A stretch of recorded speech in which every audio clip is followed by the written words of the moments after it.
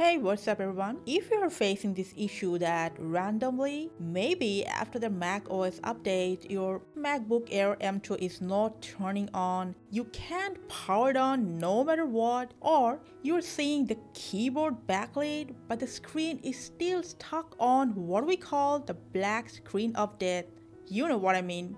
Well, in this video, we're gonna solve this issue for you. So stay tuned.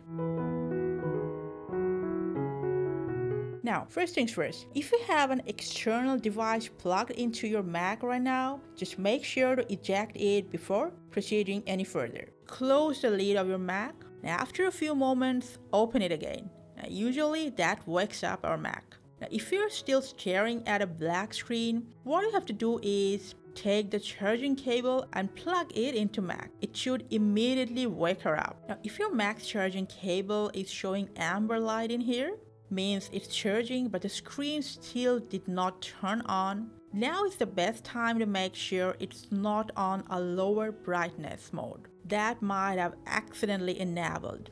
What you have to do is just keep tapping on F2 button and see if that helps. Now, if that still doesn't help, what you have to do is just press and hold the power button for like 8 to 10 seconds to force shut down your Mac, especially those who are facing the black screen of death. Release the button and after that now press just once on that button. Hope you are hearing the startup chime along with the Apple logo. Now if you have followed all these steps, your Mac screen should wake up after that. Now for those it didn't help, don't worry. There's another way you can check it yourself. Just press and hold Shift, Control, Option and the power button here. Press and hold it for like 10 seconds and after that release all the buttons. Now your device should restart after this process.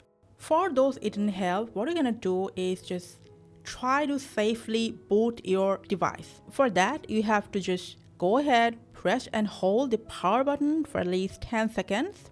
Release it when you see loading startup options on your screen. Now, hopefully you can see the Macintosh here and that means the hard disk is detectable.